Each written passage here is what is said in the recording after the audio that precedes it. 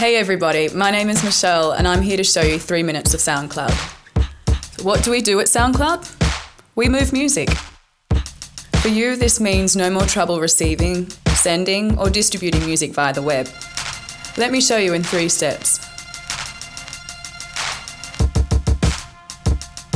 This, this isn't much fun. And this, well, this is frustrating. We've created a kick ass music inbox where you can scan through all your new incoming tracks before downloading a thing. Check out live updates from people you work with, see what incoming tracks people are talking about, or just play the whole thing like one big personal playlist. You can embed a Dropbox anywhere and receive music through any site you want, for example, on MySpace and Facebook.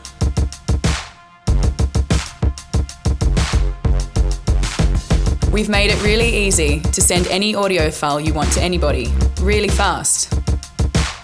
Send directly to an email address or quickly select people from your network. Check stats on who have accessed the track, who's listened, who's downloaded, and handy things like that. And for the person you send the track to, this, this looks a bit nicer than this. Give your release tracks a home in the cloud. Each track or set gets a page of its own with a nice clean web address, and you've got full control over what people can see and do with your music. We've got one of the coolest widgets available. Customize it in two seconds and put it anywhere you want on the web.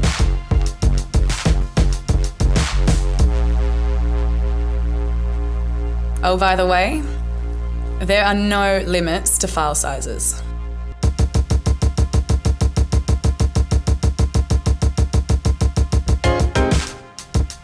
Thanks for taking the time to check out SoundCloud. Let's move some music.